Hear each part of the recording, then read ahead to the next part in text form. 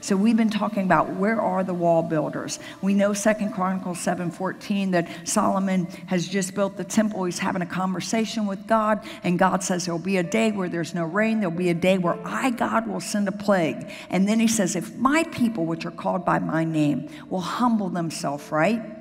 And pray and seek my face and turn from their wicked ways. So he's not talking to the world, he's talking to who? The church, those who he's in covenant with.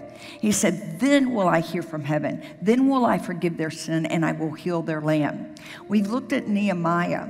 I won't go into the scriptures, but Nehemiah chapter 1, we're going to get over to Nehemiah because that's where I intended to start, but I've been stuck in Ezra. We've got two more chapters, all right?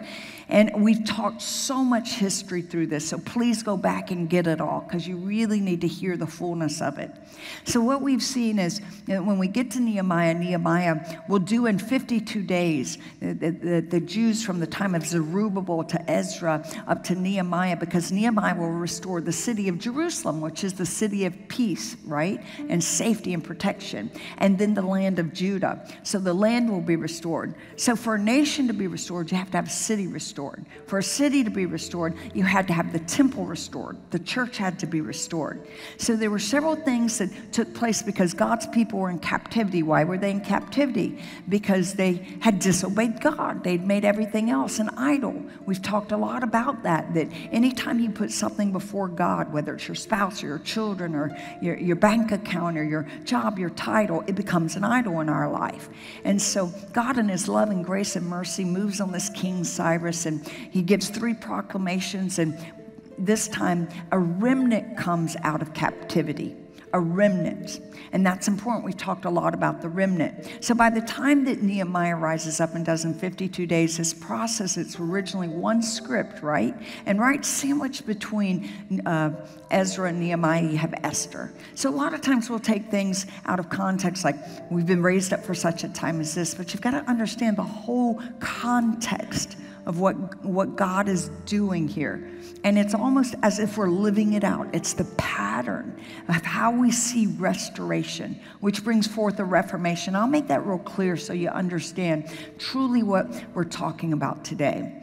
And so we get there in verse 3, um, Nehemiah says, Well, how is God's people and how is God's place? Always two of the most important questions you'll ever ask.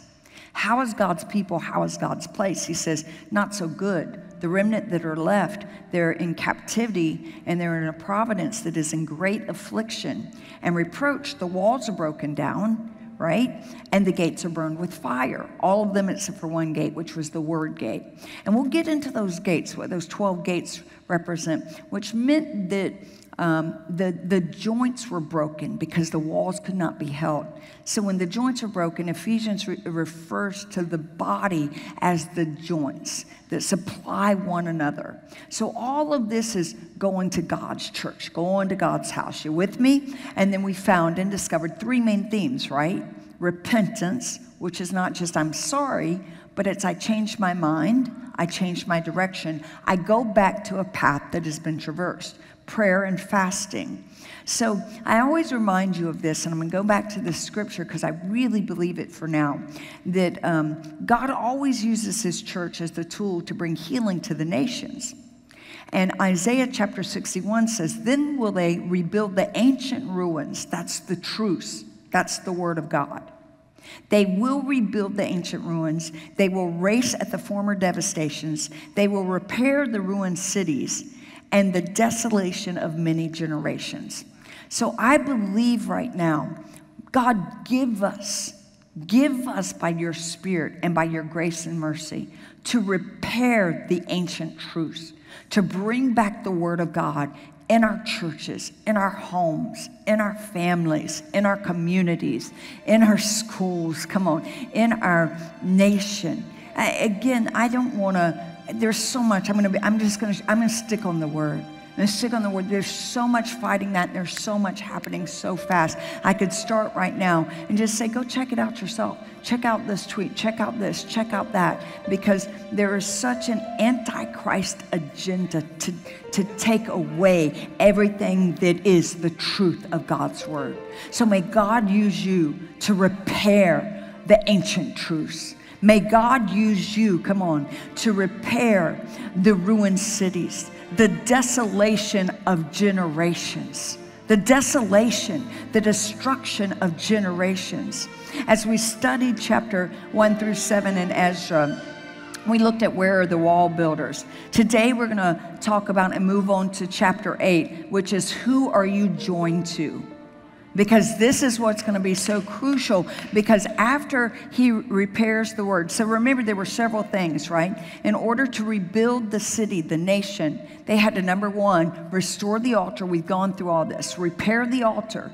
Then they had to restore the temple. Then they had to bring back the feast god's divine appointments. Then they had to restore worship right? Then they had to restore the word of God, which is where we've left off. When the word was restored, I left you with what what happened when to those who did not restore to the word remember death and the things that happened the loss of things and what happened to the people who did restore the word of god. And then we left off with the nine things that happened the requests that were granted to ezra because of restoration of the word. So when the word was restored then sanctification came a separation of, uh, for reformation. Now right after that in chapter 8 he's going to get get into what you'll call the registry. So he had to register those who were with him. This is important because who is with you, all right, is absolutely important.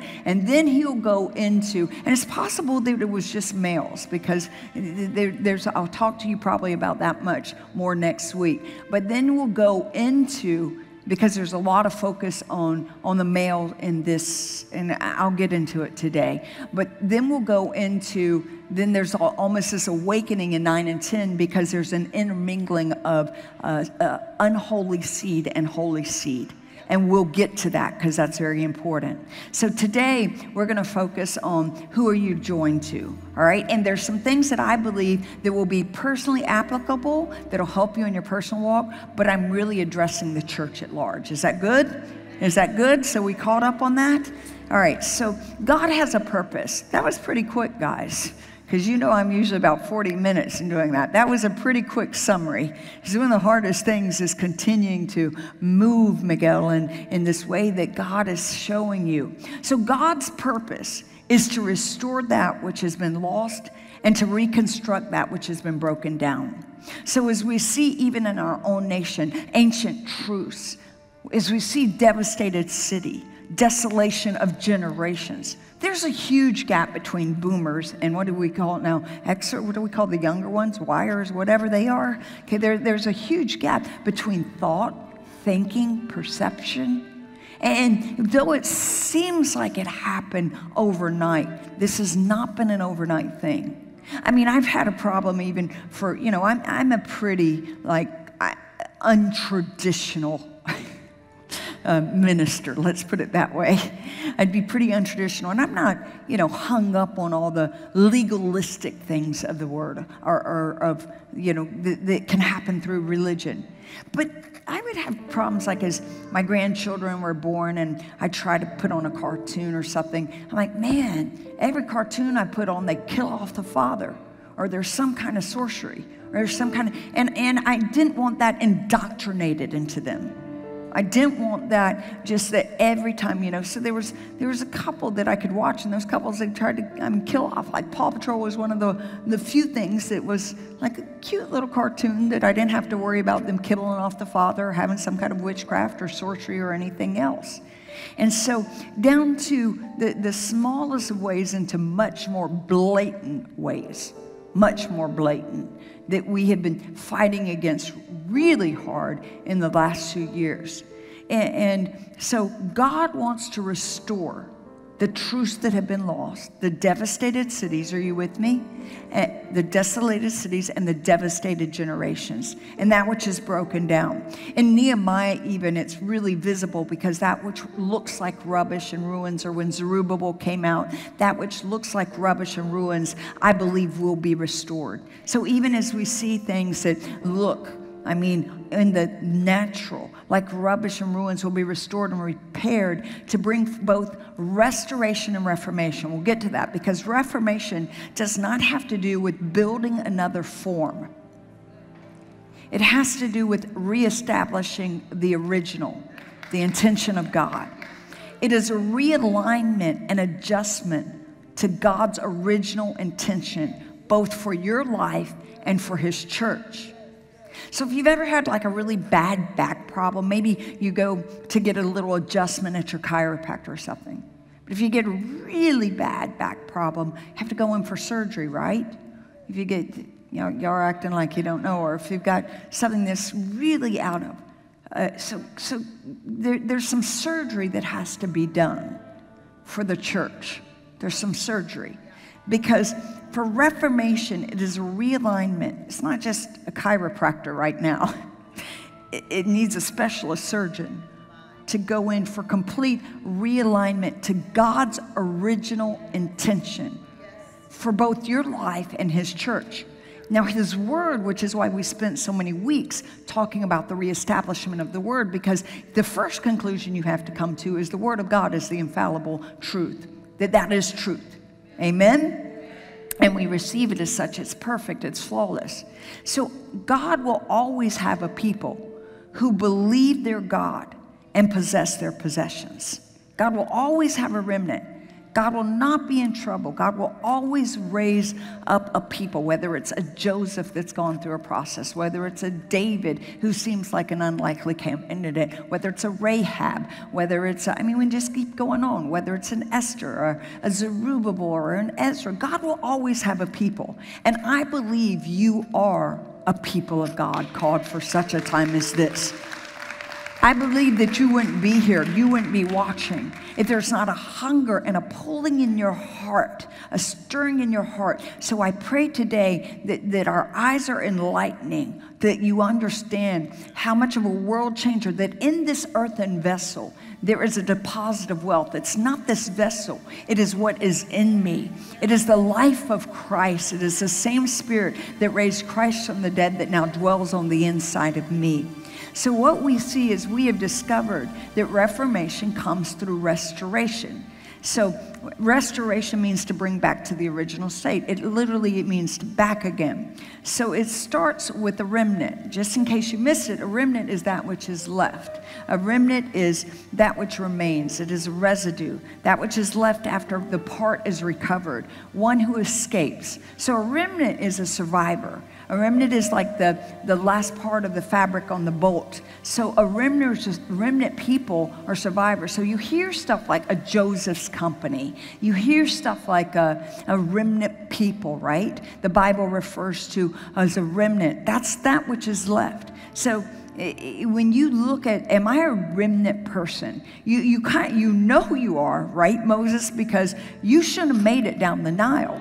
Like that you should have not made it and just happened to land at Pharaoh's, right?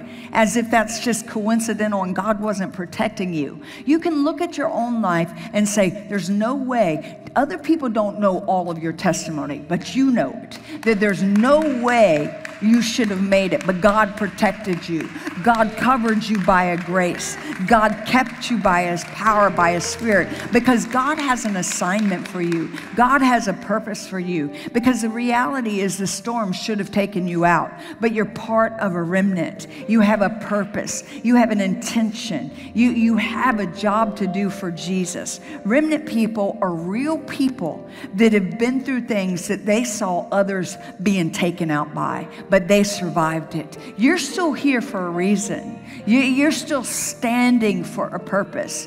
God still has more for you to do. And if that more is in your prayer closet or that more is on a worldwide stage with a bullhorn and a target right on you, God has more for you to do because God loves His church.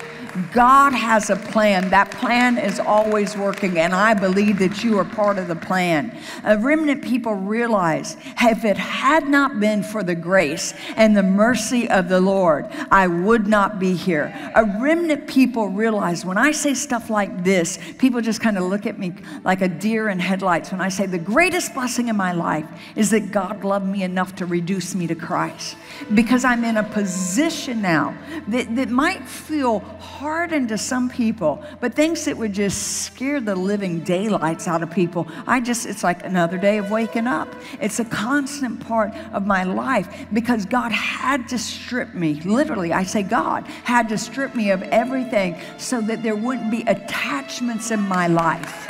And what I mean by that, that, that I could move freely in obedience to God, that, that, that I love people, but I know I love my husband. I love my children. I love you. But my attachment is to God. And out of that attachment, my overflow goes to people. So my attachment is not first to you. I'm not afraid of losing City of Destiny. I'm, sorry, I'm not afraid because if I do, God will just raise something else up. I'm not afraid of losing a friend or a person. I'm not afraid of losing something. I'm not trying to hold on so tight and control. There have been times in my life I have been, but God just allowed everything that I tried to hold so tight to that that was just squeezed dried out. And, and as crazy as it sounds, it is the greatest blessing because I know that in Him I live and I move and I have my being. I know that God is truly my source. I know that the only way that there is breath in my body today, that there is any testimony and evidence of God in my life, is because He is a good God. He is a loving God. He is a faithful God. And so you realize, had it not been for the Lord, come on, whenever God is going to build or do anything great, He always leaves a remnant in place. So there is a remnant, come on, there will always be. And some of you are looking at what is left over in your life and you're thinking, how can anything great come out of this? It's so little. You've gone through devastation, you've gone through the, the, the loss of a loved one, the deaths of somebody, you've gone through divorce, you've gone through disease, you've gone through loss of friends, loss of family, rejection. you're in good company. Come on, you're in good company because Jesus, uh, who made himself of no reputation, who lost so much, his very life, only to, to for what? For the birthing of the church, the bride of Christ, for the gain of God's intention and his purpose and his plan. So when we are attached to things and people, and I'm not saying that, you know, you're going to lose everything and every person in your life. That's not what I'm saying. But I'm saying if we're not willing, if we're not willing, that's what he says. If we love our father and our mother more, or we love our spouse or our children more, if we're not willing to lose everything, then we've made that thing our God instead of making God our God. Are you hearing what I'm saying? So God's not about taking away from you. That contradicts so much of his teaching. But what he's saying is we know how subtle the serpent is. We know how he gets in. So it's saying that God has to be God in our life, and there is none other but God. Are you with me on this? Because we're going somewhere. So when you look sometimes at the little that you have left, God likes getting you to a shrinking place. And when you look at the little that is left, when we look at the little that we have to work with, right? When you look at the little, maybe that is left in the economy or your money or your energy, and you're thinking, what can be done with this? Here's God's word to you individually and corporately. Zechariah 4:10. Who despises the day of small things. Men will rejoice when they see the plumb line in the hand of Zerubbabel. So he says, Don't despise those small beginnings because men will rejoice when they see the plumb line, the plumb line in the hand of Zerubbabel. I've been teaching you this whole thing the whole time. Zerubbabel came back with just a few, a remnant, but he's saying men are going to rejoice when they see what's in the plumb line of just the hand of Zerubbabel. See, there's a plumb line in the little that is left in your hand. There's a plumb line in the remnant that is left in America. Come on, there's a plumb line in the remnant that is left. There is a plumb line, I'm telling you. So God loves to start with small. What looks like a little, God will turn into a whole lot. It's the shrinking process of God to get to a remnant. So God will take what is left and He will restore. So to restore means to build again, it means to repair, it means to renew. The original etymology means back again. So there are often people that think you'll never come back, you'll never make it back. They think right now that the church is over with, but I'm going to tell you the church will rise stronger and true revival, it has to come because the world, the knowledge of the glory the glory of the knowledge of the Lord must cover the earth as the seas cover the water, or the water covers the sea, according to Habakkuk chapter 2, verse 14. So God will raise up a people of boldness, a people who will not compromise, a people with the fear of the Lord, a people that walk in righteousness, that will be back again. I'm telling you. You didn't think you would make it out of that mess, but tell the enemy, don't throw your party just yet. you messed up. Come on. Don't, don't, don't bring out everything just yet. Because when I fall, not if I fall, when I fall, I will arise again. Come on. I will come back again. God is not through with your life right now. God's going to use you mightily. He's going to use you greatly. Back again. Somebody just needs to tell themselves, back again. It's not over yet. Why? Because the life that God put you in is larger than the one that you've been living. God has a big plan, and that plan is for His church and God wants to use you. God uses what I say, little people to do great big things for the kingdom of God. You are part of something that is bigger than yourself. And the problem, I'm not, oh, it's hard for me not to focus on problem, all right? I'm going to get there. The problem is the church has, like I said, become so self-ambitious that we miss the, central, the centrality, and that's why I taught so much of making it Christo-centered, Christ-centered, because if it's not about Christ, it's not about the church because it's not all about us. It's about the it's about Christ. And if you are in Christ, you can't help but to have a life that is full of goodness. To have a life that even if you're being stoned, Stephen, the glory of God is coming out of you. Come on, no matter what you're going through, there's no way, even if you're in prison, Paul and Silas, you're singing praises at the midnight hour.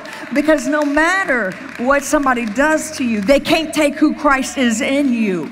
You're not ruled by outside stimuli and circumstance, but you're ruled by the Spirit of Christ. So, as part of a remnant people, you are an overcomer. That means you're a family of sons in the image of Christ. And I believe returning to Zion, a people and a place in Christ, to lead God's kingdom and people into restoration of all things. So, God begins to integrate your testimony into a family of believers, in which means you had to go through what you went through. I'm not saying all God sent, but all God used. That what the enemy meant for bad, according to Romans 8 28, God will use for the good. Not for everyone that everybody likes to quote it, but for those who love God, who are the called according to his purpose, his intention. So by releasing your individuality, this is important, into something that is bigger than you while maintaining your uniqueness, then your life gets enlarged because now you recognize you are a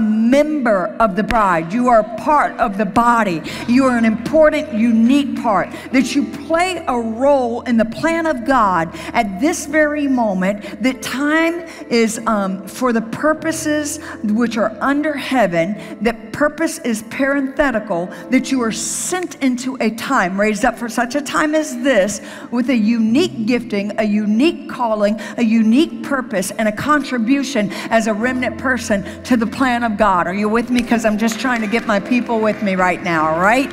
So I know, I know you've had some success by your own efforts, but this next level of success is going to require a totally different style because what brought you to this point will not be enough to move you forward. I'm telling you right now, what brought you because you are going to see some I, I, I, just what I believe, all right? If I'm wrong in, in four years, if I was Old Testament, you could stone me, but, it, but you can't in the New Testament, all right? But it, in the next several years, what I believe, you are going to see some dark days. I wish I could say you everything's going to be bright, but the darker it gets in the world, the brighter the true church of Christ will shine. The brighter the light of God of the true church will shine.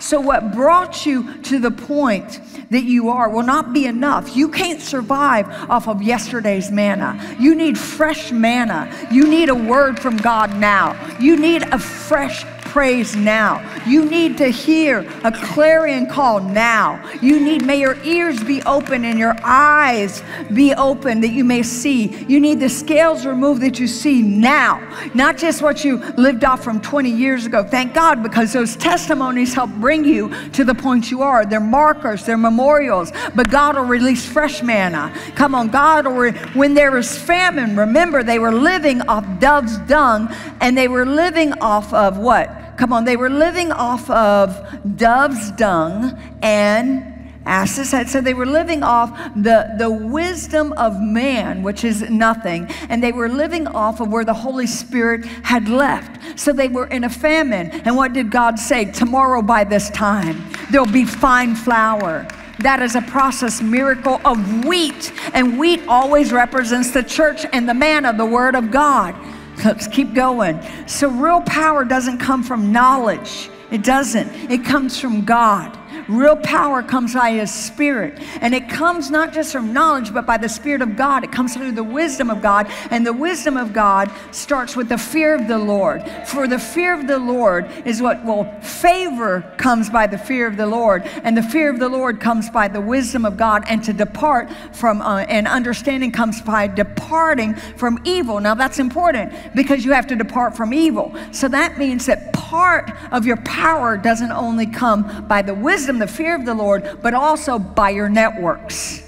Because you've got to depart that which is evil. So God is expanding you through the expansion which will come through through the people because God works through a people, not just a person. And that happens through unity. All right, now I'm going to go somewhere because when God moves, He moves. The one of the reasons that there's been this has been like such a sweet spot for me ministering now is because there's no disunity. There's no, I'm not fighting, there's no resistance. There is such a difference preaching in the sanctuary, and I block anything right now from entering in that would not be in one mind, one heart, one accord. There is such a unity I would rather have such a small handful that are one mind, one accord, one heart, moving for God, moving for God, than, than anything that would resist that. So I'm telling you that God's expanding us, and that expansion will come through unity, being unified. Now, contemporary Christianity, I'm going to get into some things. You ready? Buckle in, because contemporary Christianity looks on the church. Let me give an example here. Looks on the church church, uh, like in Corinth, like let's take, I'm going to use the Corinth church as an example. And, and today, like contemporary Christianity would look on a church like Corinth, which had a lot of mess, trust me, with unjustifiable smugness. They would look on it with their nose down on it. Now, rightfully so, they had a lot of personal issues. Had just gotten saved. Paul was always trying to correct them. They had sexual sins. They had, you know, eating and gluttonous. And I, I mean, you don't even want me to get into all the details of that. We would criticize their carnality. That's part of the problem of when people are looking at other people in leadership or certain things. They are criticizing them and, and looking down upon them. They're also being backed into corners right now, right? They're looking down at them with their, their smugness and how God would never use that. Listen, never did I ever, ever, listen, I've been called about everything. Apparently, I've slept with everybody under the sun. I mean, I'm a prosperity preacher. You know, I just take everybody's money. And, and but never until the last battles of my last few years of life was I called a heretic. I mean, I was never called a heretic, all right? That I actually had to go on CNN come on, and defend myself that I believed in God the Father, God the Son, and God the Holy Spirit. Anyone, that, which tells me that most people that would ever say anything about you or me never listen to us because you can't hear me for more than 10 seconds and me not always talking about God the Father, God the Son, God the Holy Spirit, about the, the deity, about the Trinity, about Christ. So we would criticize the carnality. Can you imagine what Paul would have to say to the church today? Because we look at a church like Corinth, I'm giving you a comparison, and we would say, oh, how dare them. They were just so, here they were, they were having orgies and they were getting drunk, which they were, you know, they were doing this and they were doing that, and we would criticize all of their personal sins and all of their um, unsanctification. But could you imagine if Paul was writing to the church today? writing to the church in America today, writing to the church, and I keep putting many places today, he would be outraged because what he was mostly outraged was he recognized this process that they would have to go through, just like you and I have to go through, of going from glory to glory in our personal sanctification. He would be outraged. And what would he be most outraged by? By their divisions. Listen to what Paul had to say when he wrote to the church in Corinthian, who were only divided four ways. Only four ways. We're divided a whole lot more than four ways, which is why the church is so weak. Which is why, because the church, come on, we don't even know what's really the church or what's not. Half the people, those of us who are spiritual, can understand because it's in alignment with the Word of God. Because you cannot contradict the Word of God. That is a spirit of Antichrist. And you cannot operate with the spirit of Antichrist and say you're the blood bought church of Jesus Christ. Now, I'm going to tick some people off if I keep going deeper because a lot of things label themselves, but you can look right, act right, talk right, and not be right be no part of it because he will say, Depart from me, you worker of iniquity. I never even knew you because God honors his word and he honors his name. And there are a lot of people that invoke the name and invoke the word, but they have no part at all to do. They have no real relationship with the Lord Jesus Christ. 1 Corinthians 1 10 through 13. Now I beseech you, which is a word like, Hey, I beseech you, brethren, by the name of our Lord Jesus Christ, that you all speak the same thing Let's just start there, Luz, that you all speak the same thing.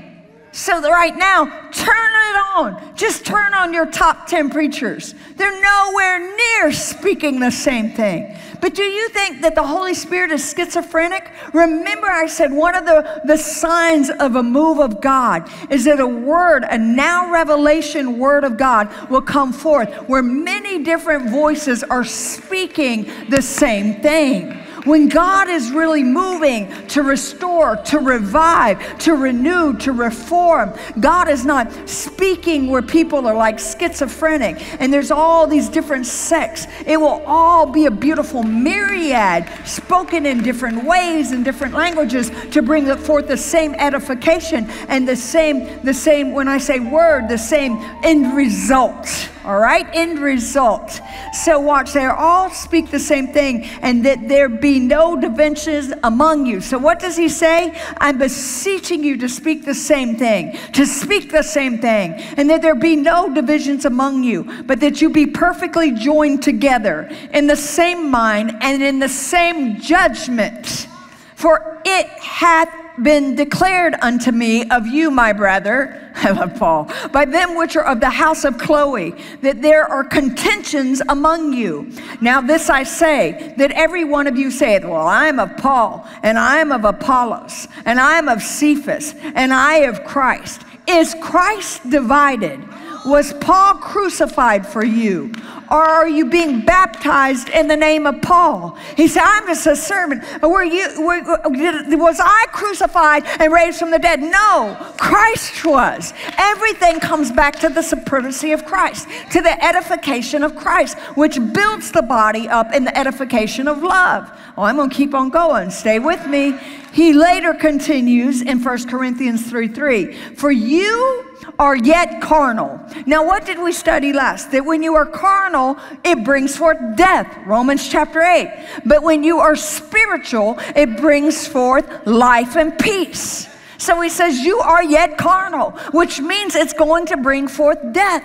But if you are spiritual, it's going to bring forth life and peace. He says, You are yet carnal, for where there is among you envying and strife and divisions, are you not carnal and walk as men? He then goes on and he challenges the church. You would think that that'd be enough. But he says in 1 Corinthians 3 16 through 17, and we always like to use this very much out of context.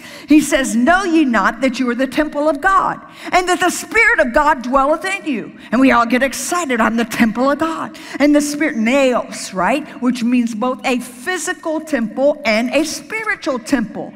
You are the naos. You're the NAO, is it US or NAOS, whichever it is. And you're the NOS, however you'd say it. Ask Dr. Paul. All right, NAOS, all right, NOS. So tell me which one. It's the, you are the temple and you are the spiritual temple. Know you not that you are the temple of God and that the Spirit of God dwells, lodges in you. If any man, ready, defiles the temple or the temple, him shall God destroy. For the temple, both physical and the temple of God, is holy, which temple you are. So we are the temple of God both physical building and temple spiritual. Made up, you ready? Our churches, Ephesians chapter 2, verse 22, our churches, like the stones of the temple, are to be laid side by side, building us together into a dwelling of God by the Spirit. You didn't hear me. Our temples, ready? Let me go. Our churches, like the stones of the temple, are to be laid side by side, building together into dwelling, into the dwelling of God in the Spirit. Do you know? Come on, guys. There are people here that have been sons and daughters that have gone and started their own church that I haven't heard from for years. I haven't heard from from the day they started the church. We're to be, I haven't heard from pastors that are right around here that I've reached out to. Do you know how many stones are not laid side by side, building the temple, building the house, building the temple? If food brings us together, praise God, keep giving me food, God, because I will give it out to as many churches to build the temple, to lay the stones side by side. If it takes money that I can pay off your church, give me money, God. Because whatever it takes to build the temple side by side and lay them side by side. If it takes love, whatever it takes, God, let, let, me be a builder of your house, which is not just the city of destiny. I will tell you how, how far off we are because most people in their pulpits will preach against other preachers or preach against other churches instead of preaching against, uh, or not so much against, but instead of preaching for what God is for are dealing with the sins of the world. Oh, come on, I'm going to keep on going. So, so our churches are these stones laid side by side, building us together. I'm not just talking to us.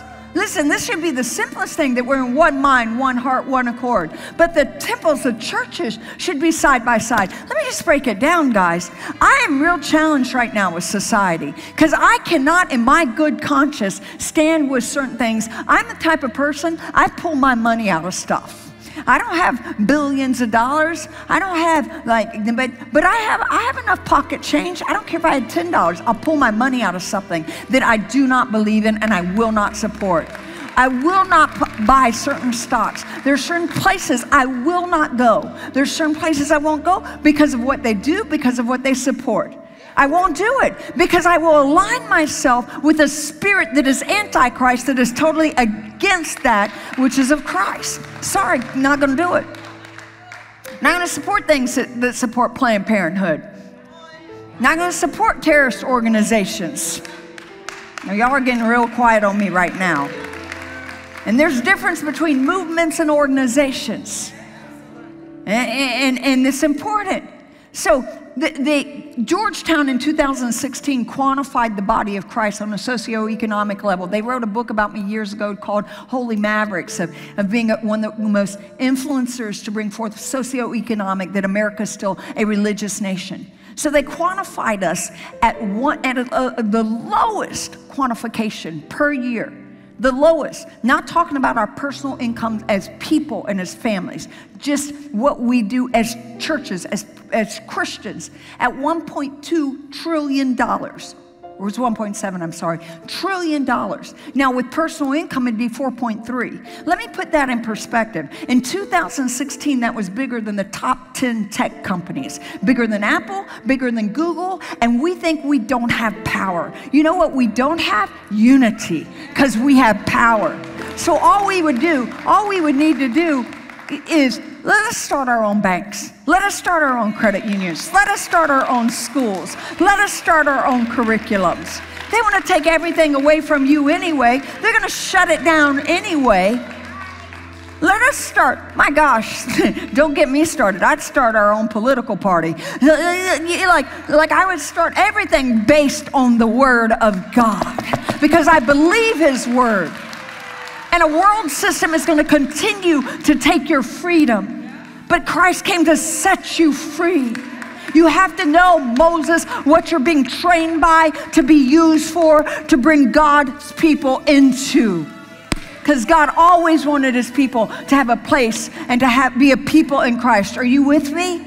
So he says that they're laid side by side. The problem with the church is not that we don't have the ability, it's that we refuse to walk out in God's word. It's that we refuse to come together united to really bring forth true transformation. Paul went on to issue a warning. You ready?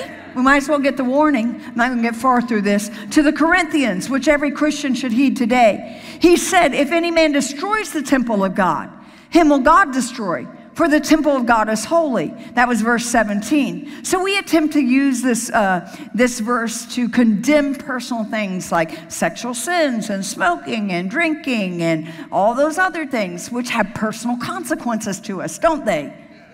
They do. They have personal consequences to us. But, but, but, but Abraham, did you lie about Sarah being your wife for 25 years and still become the father of many nations? But David, did you have a woman problem? Did he ever? And, and did you never get personal fulfillment? Because you could never get, you, he had such rejection in his life that he would run into the arms of a madman like Saul. He wanted Michal's love that he almost gave up the entire kingdom because he went back because she'd been given to another woman when he was out fighting for 17 years and he goes back and he like wants her so bad and she's just the sad seed of a failed father anyway. But he wants it so bad because he never had it. And he had so many personal issues but he does he fulfill all the will of god? Read the book in acts. He does. But there are personal consequences in his life so you can fulfill the will of God and still not have the fullness of satisfaction. That's why I'm saying the gospel does have individual benefits for you, but at the same time, the gospel has a greater, greater thing, and that is for his church. Are you with me right here? Because we've attempted to use this scripture in context of saying something to condemn certain things on an individual basis. But this is bigger than that because Paul was speaking in more than just the context of excess sins of pleasure. He is speaking of destroying the unity of the temple. So when you break this down, he's talking about those who destroy the unity in the church. He's speaking to the church and saying, Those who destroy the unity in the church shall God destroy. You don't even want me to get into the etymology of destroy. Go home and look it up for yourself. The apostle warned that if any man destroys, and it was through jealousy and sectarianism, which means faction, pulling away, that God would destroy. The context speaks plainly in regard to the division of the church. Paul summarizes his thought by saying this in 1 Corinthians 3:21. So then let no one boast in men. When pure Christianity degenerates into divided camps, of our own ambitions, of our own desire, of our own will, of our own wants. It literally destroys the harmony, the power, and the blessing of the temple of God and the temple of God. When you begin to see miracles, power is because there's unity. When you begin to see commanded blessing, because there's unity. You see it in a couple, you see it in a family, You see it in an individual church, you'll see it in the body of Christ. The individual who brings or supports such carnal divisions in the church has positioned himself to be judged by God. I told you it wouldn't be the easiest word I've ever preached, but it's a necessary word. Because you aren't to listen to everyone. Seriously. You'll be listening over here and listening over there. You're to be led by the Spirit of God. Dabbling in a little this, dabbling in a little that. Be led by the Spirit of God. The temple of God is holy. Our unity together is holy. Our love for one another is holy. For the Father Himself dwells in the resting place of caring attitudes and loving relationships. See, God is a God of order, and He'll dwell in unity. He will not dwell in ruins. So, watch what I'm saying here because He's a God of love. He'll work with us to rebuild, but He will not sanction our fallen condition with power. You've often heard me say there's a difference between di- divine acceptance and divine endorsement. The finished work of Jesus Christ gave us divine acceptance. You're accepted just the way you are, but you're not endorsed just the way you are. God's endorsement comes through our obedience to his word. I wouldn't give Asher right now an AK. I wouldn't give Asher anything. I wouldn't give Asher a play gun right now. right? I wouldn't hand her over an AR 15 and say, Here, have your way. Well, God's not going to give us as immature believers, which an AR 15 would be nothing. Shotgun would be nothing. You understand what I'm saying, the metaphor I'm using, compared to the power of God. So, God's power comes with our maturity, our obedience, Victor. Because He's a God of love, He works to rebuild.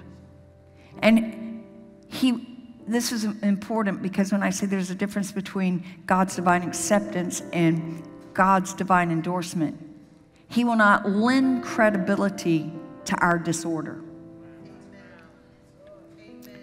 So, like Nehemiah, Paul also mourned when he saw the, the ruined condition of the church of Corinth. He said in 2 Corinthians chapter 12, verse 20 and 21, For I am afraid that perhaps there may be strife, jealousy, angry tempers, disputes slanders, gossip, arrogance, disturbances. I am afraid that when I come again, my God may humiliate, maybe for you, and I may mourn over many of those who have sinned. So, we should be in a state of mourning concerning the condition of the Father's house.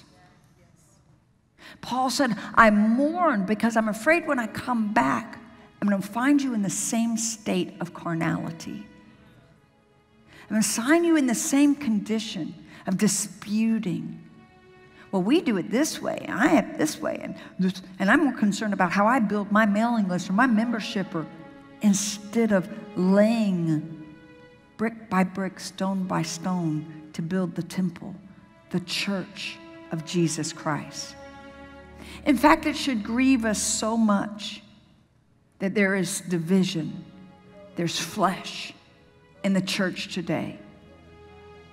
Because we, as Christ's church, are also in ruins. We wouldn't see the conditions of degenerated generations and devastated cities and ruin truths if the church was not in ruins. My biggest battle even in the field that God has assigned me to, is not the world. The biggest attack on my life, I wasn't called a heretic by a sinner.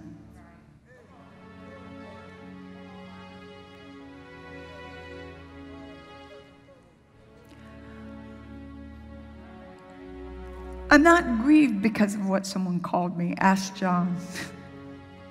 I can be a very detached person. Tough cookie. It's what I've gone through in life. I'm grieved because my heart feels for people who themselves are either that hardened and calloused without ever even having a conversation or that deceived and blinded to be taking a hammer instead of building that church, tearing it down.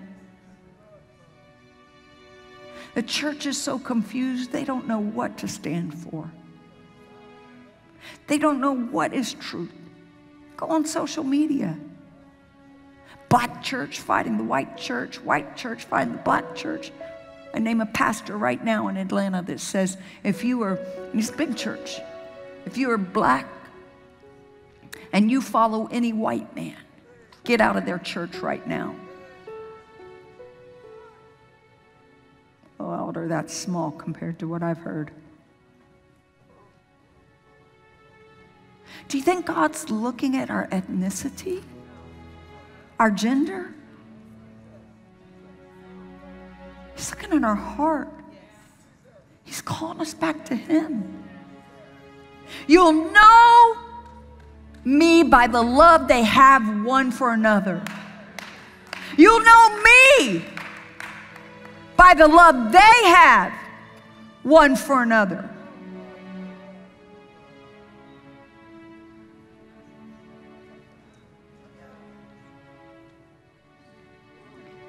We've not only failed to mourn our situation, we haven't even grasped that we're in ruins.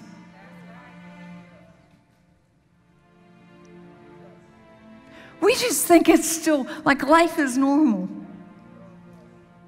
It's not normal. It will be state after state after state after state until you won't be allowed to come into almost any sanctuary. If the enemy continues, I never thought in my life, I didn't think, Dr. Paul, I would see in my lifetime. It didn't really enter into my head or my heart. Forgive me, Lord that I would see in my lifetime. And I've always been compassionate about eight out of 10 Christians that are persecuted around the world and people of all faiths. Because people of all faiths, unless it's a radical, terrorist, destructive faith that would do damage to hurt a person, should be able to freely practice their religion, should be able to freely practice their faith. God Himself said, I set before you life and death. Choose life that you and your seed may live. He didn't force you to serve Him, He set out a path for you to serve Him. He set out a choice when He gave you free will. But I never thought I would see where they would say, You can go protest, you can go to a casino, you can go do this, but you cannot go to the house of God. You cannot worship. You cannot have home church. And it's happening so rapidly and so fast. But like I said, the frog, by the time that the frog jumps out of the water, it will have already been boiled. Because it seems like it's fast, but it's been a long time coming. May God use his blood bought church to restore the ruins, the ancient ruins of his truths and the devastation of cities and the desolation of cities and of generations. We have church, but we obviously don't have all the power of the living God abiding in his temple, abiding in his temple. Like those in captivity, we have fallen far and don't even realize it. Maybe it's a wake up call. Maybe God is bringing us to repentance, to restore His temple, to restore His temple, to restore His temple. And while the redemption of man was always motivating Jesus, His most ardent desire and His zeal always has been and always will be for His Father's house. He was consumed with His Father's house. John 2 17, building building the house of God, the born again, praying, loving, citywide church has always been Christ's highest priority because the world is his harvest, but the church is his bride.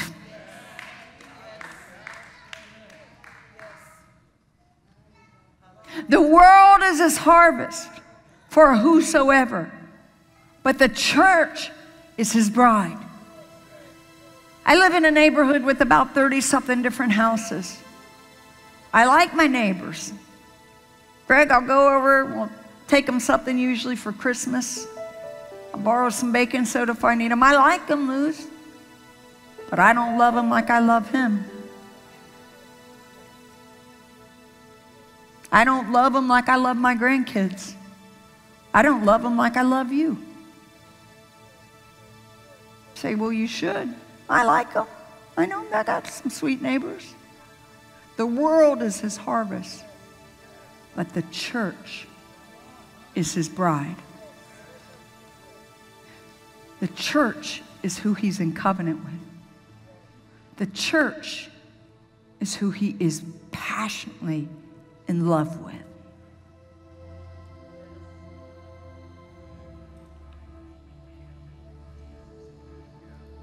His love for the church, and I'll be through was the basis of his last recorded prayer that we would be one. First words and last words of a man are the most important. Father, let them be one even as we are one. It's still his highest priority and passion today. John 17, 20 through 23. For until we are united in him, the world will not believe that God has sent him. Jerusalem fell to Babylon. And I'm not going to dare touch eschatology. I'll leave this to the rest of them. Jerusalem fell to Babylon. Jeremiah's day for many reasons. But here is the main reason, and where I'll get you to. The underlining reason was because of spiritual apostasy of religious leaders. So, for everyone else who's just kind of coming into faith, just hang in there for me, with me a minute, because now I have to go to a different level and shift to a higher gear. Lamentations, verse 4, verse 12 and 13 says, The adversary and the enemy could enter the gates of Jerusalem because of the sins of her prophets and the iniquities of her priests.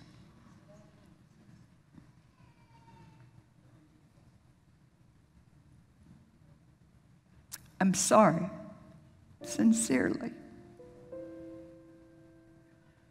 On behalf of every man and woman of God who compromised truth and allowed the church to get in this condition, who compromised their calling.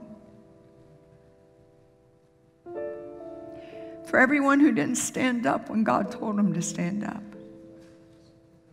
for everyone who protected their kingdom instead of his kingdom.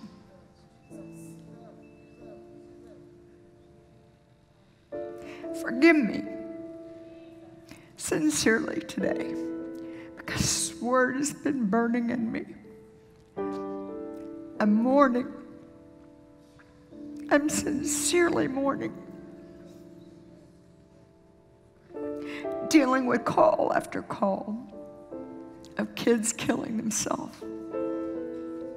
families falling apart, people wanting more money from the government, not recognizing God's their source.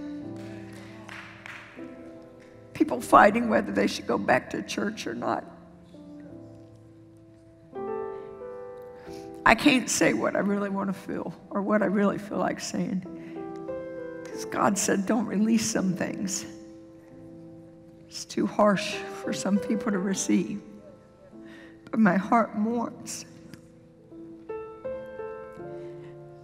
We would not be here had the prophets and the priests not sinned and had iniquity. Our gates would not be destroyed. The city was destroyed by its enemies because the religious leadership failed to bring the people to repentance. They lost the protection of God. Our cities are in disorder because the church is in disorder. And James 3:16 says where there is jealousy and strife there is disorder and every evil thing. Sometimes I find myself getting mad at the evil thing. Really mad at the evil thing. But I go back and recognize that without the church coming to a place of true repentance, true heartfelt, God, I need you. We missed it and we messed up with generations. We allowed on our watch the enemy to sow tares. We did not prepare our lamp as wise virgins.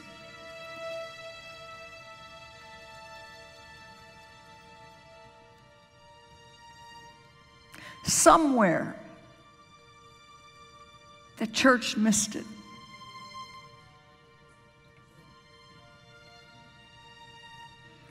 When our ambitions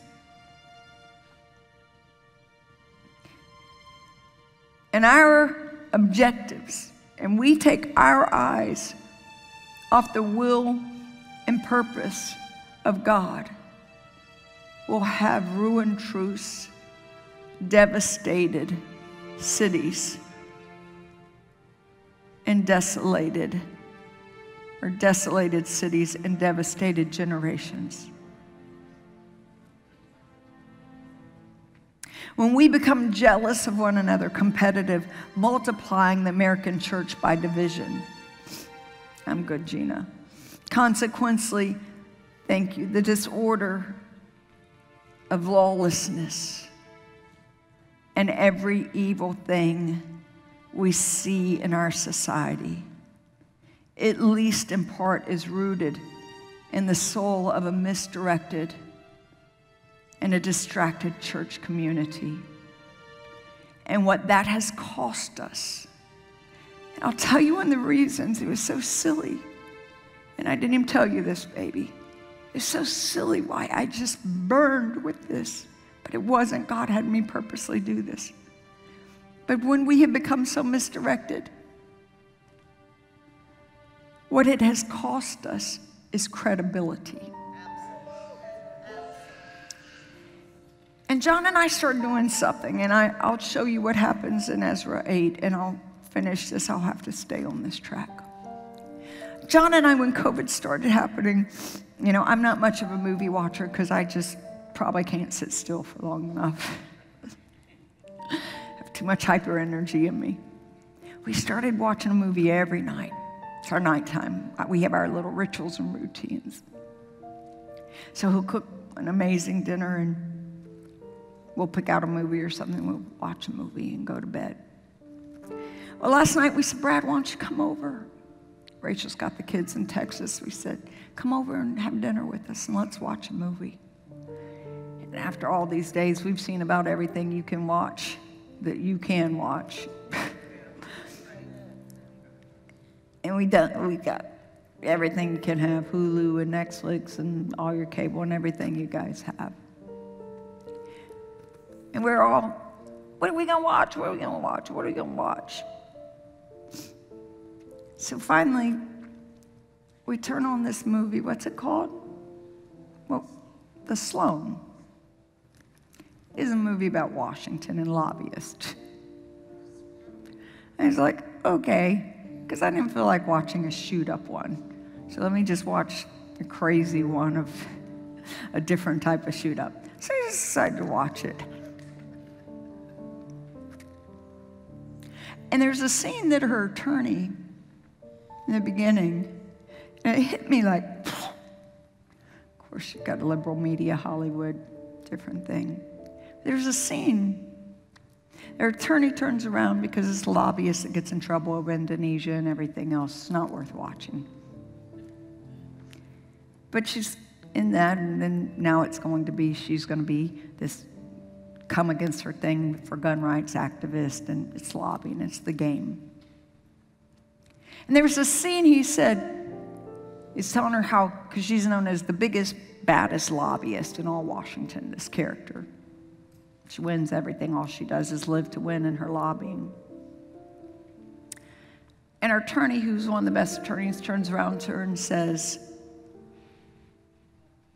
You know, the only thing worse than a lobbyist that has less credibility than a lobbyist is a faith healer.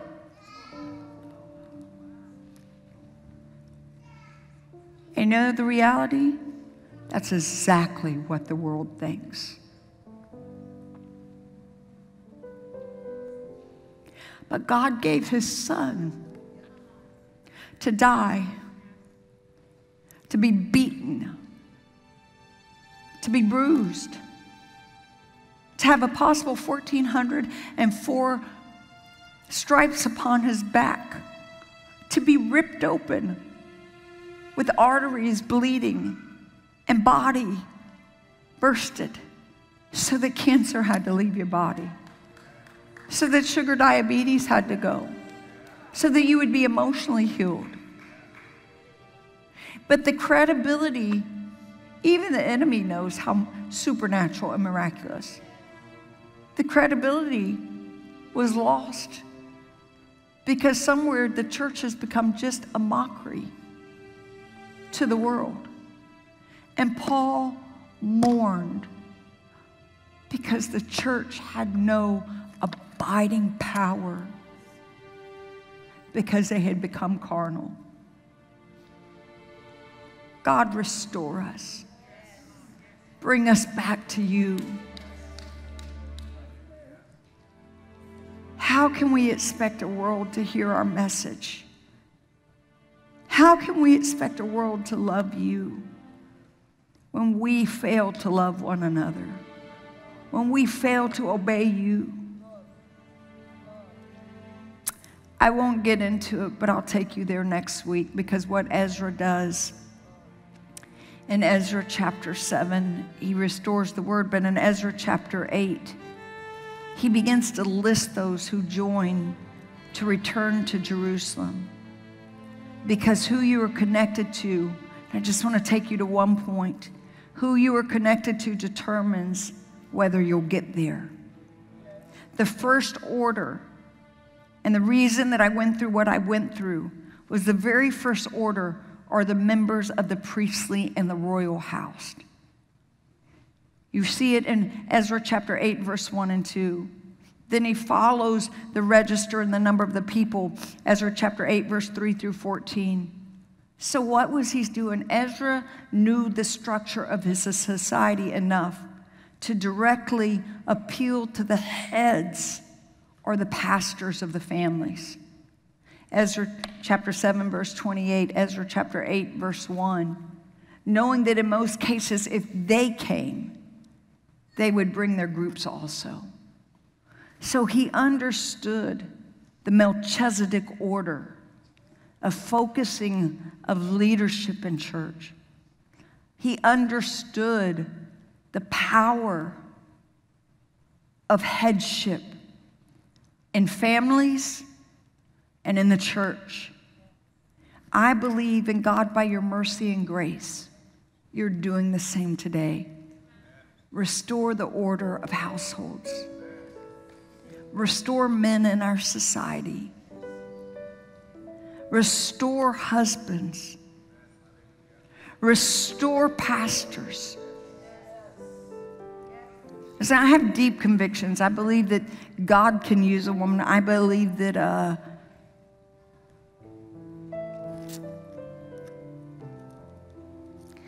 I believe God gave me a grace to do what I do. I came a pastor by default because a man failed. I have a grace, and God uses women.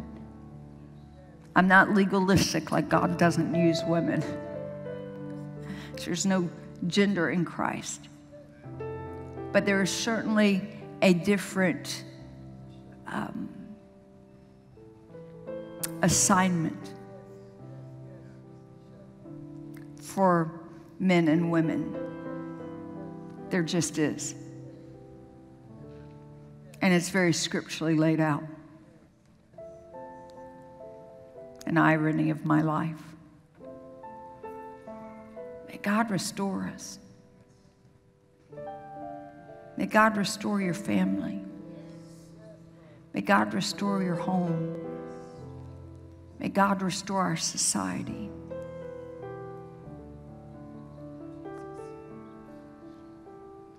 May God restore the pulpit.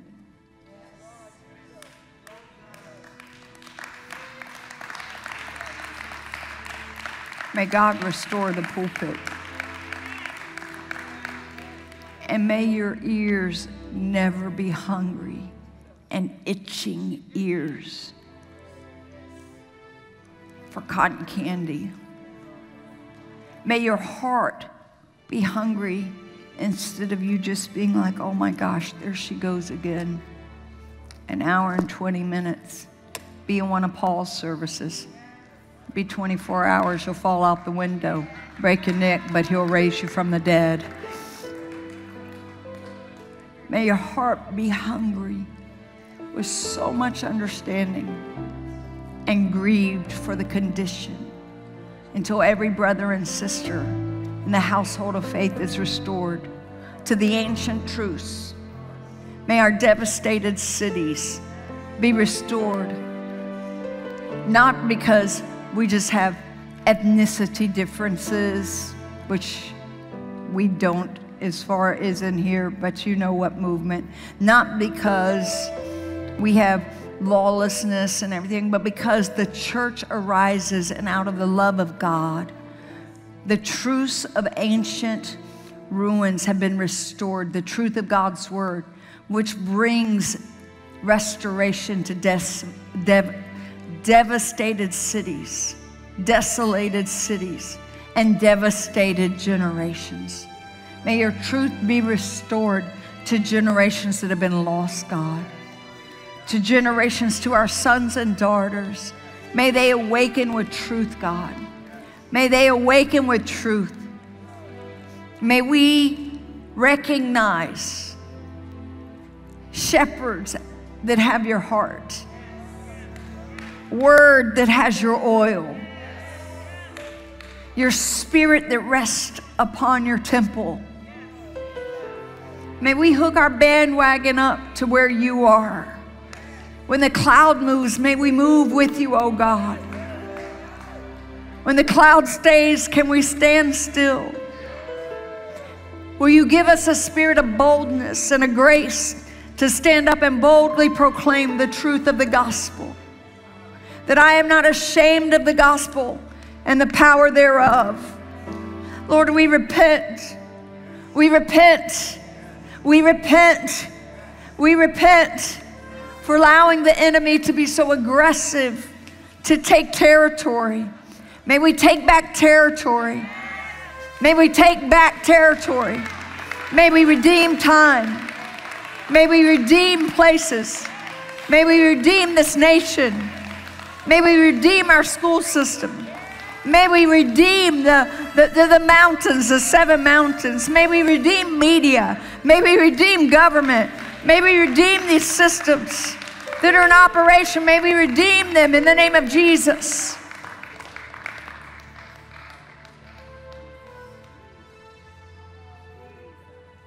Holy Spirit, do a deep work in us. Restore your church. Bring us to unity, for there is the commanded blessing.